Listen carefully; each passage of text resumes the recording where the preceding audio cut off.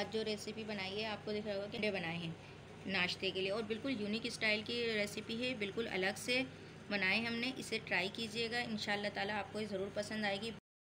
ये हमने दो बॉयल अंडे लिए हैं और इन्हें हमने स्लाइस में कट कर लिया। अब इसके ऊपर हम कॉर्नफ्लोर डालेंगे। ऑयल गर्म हो गया तो इसके अंदर हम अंडे फ्राई करेंगे।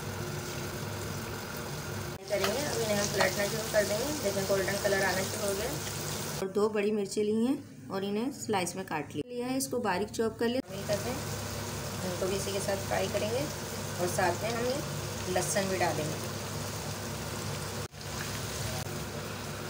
मैं ज़्यादा ऑयल इस्तेमाल करा था, अब हम आगे रेसिपी शुरू करेंगे तो उसमें हमें कम ऑयल की ज़रूरत होगी, इसलिए हमने इसे छान लिया। ये ऑयल ले लिया, हमने थोड़ा सा, अब इसमें प्याज को डालेंगे हम। हल्की फ्राई करेंगे इसे।